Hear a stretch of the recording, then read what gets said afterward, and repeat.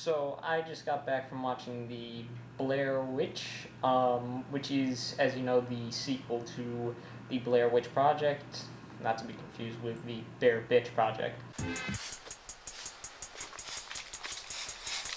No witches are gonna burn in my woods, ladies. Oh, thank you, kind sir. How can we repay you for saving our lives? Oh, I got a couple ideas.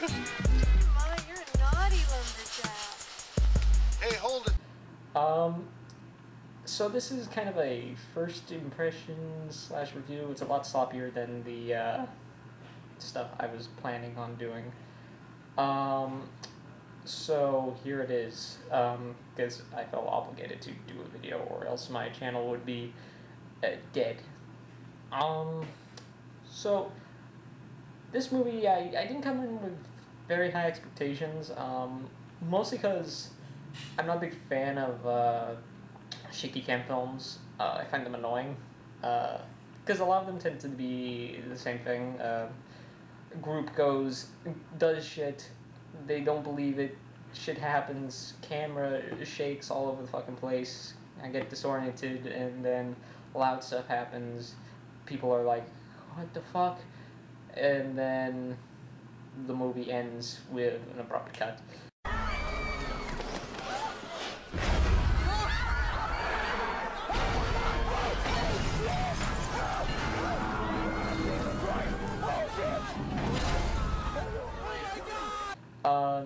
Been the same with every movie post Blair Witch Project, and um, I, I like the Blair Witch Project. Um, it, it's uh, people got to remember that it's not the first shaky cam film. Uh, the first real big one was Cannibal Holocaust, but the Blair Witch Project kind of set a trend for it. Um, and ever since then, a lot of movies like Paranormal Activity, VHS have been following that kind of trend, and um, I was I was pleasantly surprised with this film. I can say um, i it's not perfect. It has problems, uh, and I don't think it's as good as the first movie in terms of atmosphere. But there are things that it does uh, well.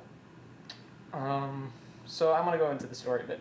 So the story takes place, I want to say, 20 years after the first movie, and the main character is finds footage of what seems to be his sister that is still alive in the weird house that was at the um, end of the first film.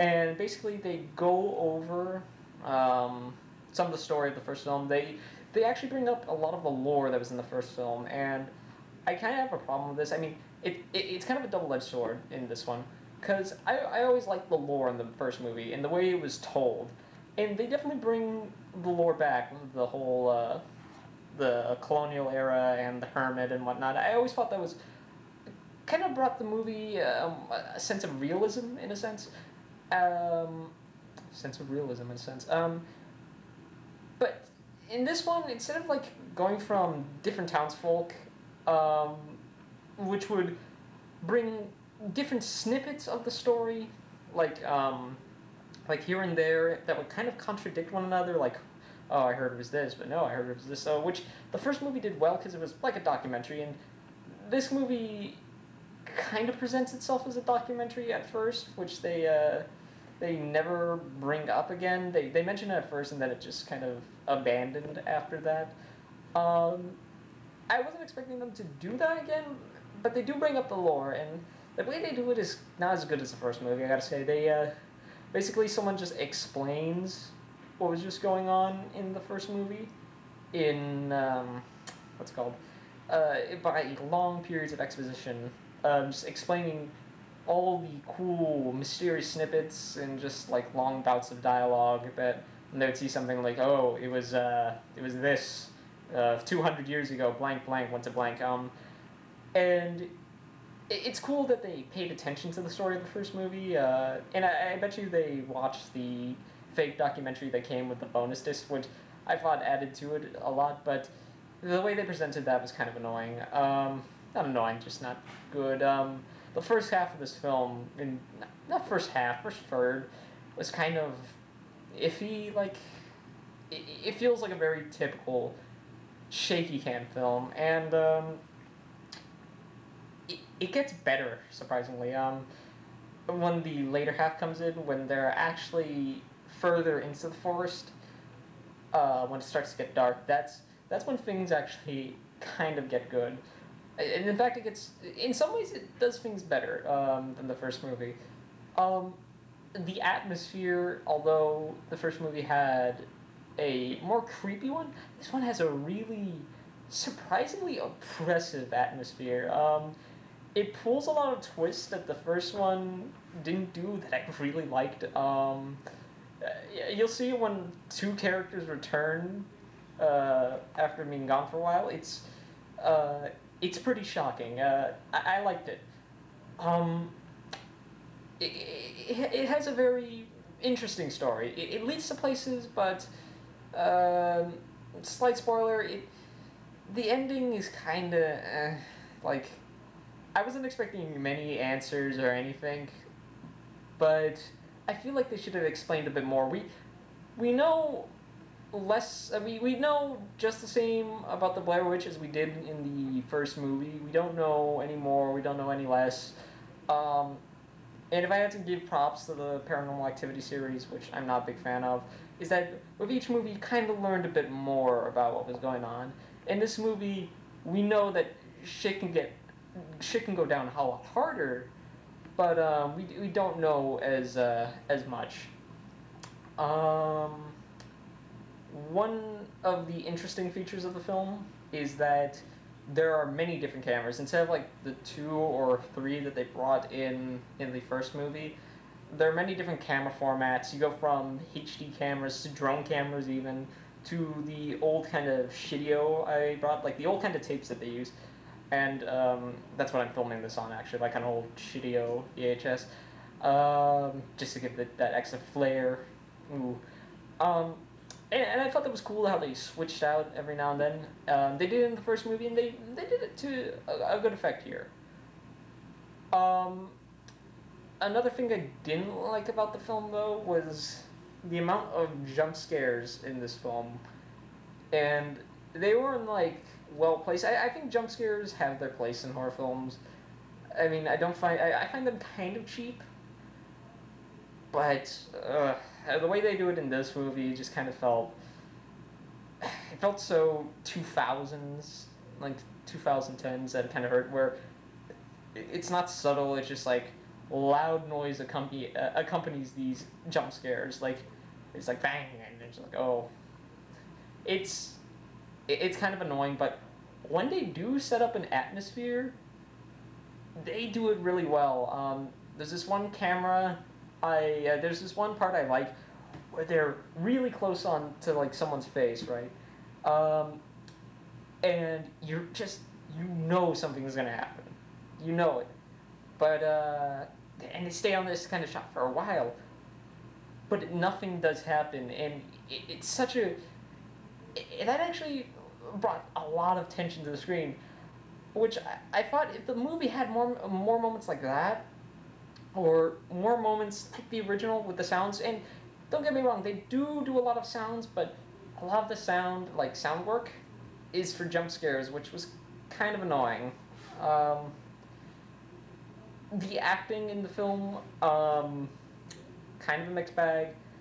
In the first movie, if you didn't know, the director never really told them what he was gonna do to like scare them, so a lot of the scares were genuine. But in this film, I mean, they, they're good actors when it comes to being scared, but it kind of lost that genuine feeling to it. Um, what's it called? I will say this: they are a lot less annoying in the later half of the film, uh, unlike the first movie, because I mean, you're gonna be screaming and getting angry and shit when you're lost in the forest. That's, I mean, that's bad. You're, you're always gonna do that, especially if you're like a, a teen, a college student and whatnot. You're gonna you're gonna get annoying, basically, and it's not very fun to watch. But it adds to the realism, I guess. And in this movie, they do do that, but they don't do it to such an annoying extent where they throw out the fucking map. Um, which I, if I had one, if I had a big problem with the Blair Witch Project. It was that fucking scene. I threw away the map. you know what? I kicked the. I'm sorry. It's fucked up. It's fucked up, but I, I kicked that fucking map into the creek yesterday. it was useless. I kicked that fucker into the creek. which kind of broke the realism in a sense um, in the first movie. But overall, uh, uh, the acting was fairly decent. Um, I, I might be contradicting myself in this fucking review a bunch of times. Is, there's no script to this. It's just a bunch of me just kind of giving my first impressions. Um, as stated, the later half of the film is a lot better than the first half. Uh, in terms of just weirdness, this movie gets really fucking weird at points. Um, to the point where I was thinking, like, is there fucking aliens? Um, cause it kind of there are certain parts where that's almost believable, um, especially in that last bit in the house. They they go back to the house um, that was revealed in the trailers at the very end, and all of a sudden the house just lights up on the outside with just a bunch of bright lights. You're like, oh fuck, aliens! And you know it could have it could have done that, which I mean it, it's batshit insane. It's weird, but I feel like if it went with aliens, it would have still been better than the ending that we got, which was just um, them dropping the camera and then it fucking ends, just like in the first movie. And where in that movie I thought it worked, in this one it just kind of felt like a cop out. Like we don't know how to end this film, so we're just gonna end it like the first movie. Whereas the other one kind of just brought this weird tension and creepiness to it because it revolved around the story. In this one, it's just like, oh, it just ends and you just kind of walk away, kind of disappointed. But that later half of the film, uh, like the two thirds of the film, are really really good. Um, except for the very beginning bit, which is kind of annoying when they introduce the characters. It's the same old kind of beginning to every shaky cam film. Um, and then you just get you just get the kind of same opening, but it does branch out a bit, and it it, it kind of takes into its own. So, I, I did like this film. It's it's not very um, it's not as good as the first one, um, in terms of atmosphere, but it I like it. I, I thought it was a, a decent film. Um, should you check it out in the theater? Um, maybe I don't know. Um, if you're willing to pay ten bucks to go to a theater, I mean, go ahead. It's it it, it, can, it has moments. It, it can be pretty spooky at times. Um, but overall, say it's like a, it's a, it's a rental or something. I, I would rent it. Um, yeah. Uh, so that was my kind of first impression of the review. Mean, first impression of the Blair Witch. Um, I, I think I liked it more than a, lot of people, um, because I have I tried to go in with like minimal expectations, and I was surprised.